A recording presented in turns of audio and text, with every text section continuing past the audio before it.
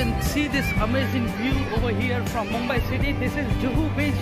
This is November 2018 and as you can see all these devotees out over here they have gathered here to celebrate this wonderful and this most divine festival as we call it Chhath Puja. Oh yes, the devotees of the most favorite and most close to the heart and most beloved mother Chhathi Maiya. All these devotees of Chhathi Maiya have gathered in over here and you can see they are offering their prayers and the kind of love and dedication that they have in, in their heart is amazing. It's worth seeing. You can see this beauty of this Juhu beach and the devotees. You can see the dedication of all these devotees, all these Mumbaikars who have gathered in over here at Chhath for Chhath, celebrating the Chhath Puja festival.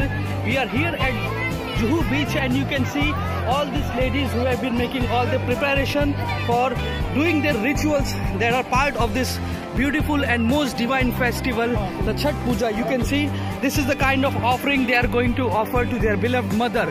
And you can see the sea of crowd. You can see literally there are so many thousands of people 90% of these people are the devotees who have come in over here to take part in this beautiful festival.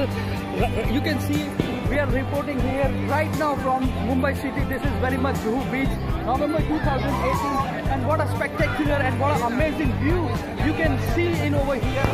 You can actually feel the divinity in the air right now at Juhu beach and this is the kind of uh, scenario that you're going to witness in entire India, in entire country at this very moment when the disciples have gathered on the seafronts, on the seashores, on the beaches, on the banks of the rivers to celebrate their most beloved festival that is Chhath Puja. You can see all these devotees they are going to offer their prayers first to the setting sun and then tomorrow to the rising sun. Oh yes, this is the the most difficult part of this festival as many of the devotees are going to stay inside the sea, inside the river, inside the water according to their own uh, situations and uh, according to their own uh, arrangements you can see and by staying in the water they are going to offer their love and their prayers to the beloved Chhathi Maiya.